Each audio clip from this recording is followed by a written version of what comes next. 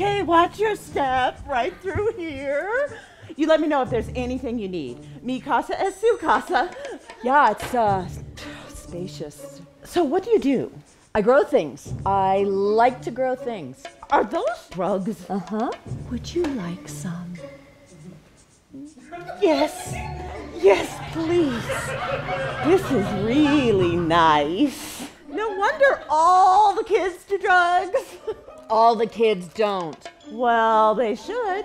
All of them maybe should.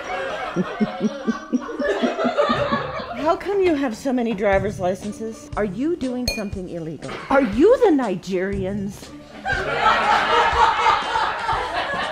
I took people's money. Show me how to do it. There's a few ways. Hold on. Well, I can see I'm gonna learn a lot from having you as a roommate. Another order. Boom! Expansion is progress. The book club ladies have been really, really receptive to medicinal herbs. Now, Tanya giggles a lot. We read that book on child soldiers, and she just giggled her way through that. You know, there's a great liberty in being bad.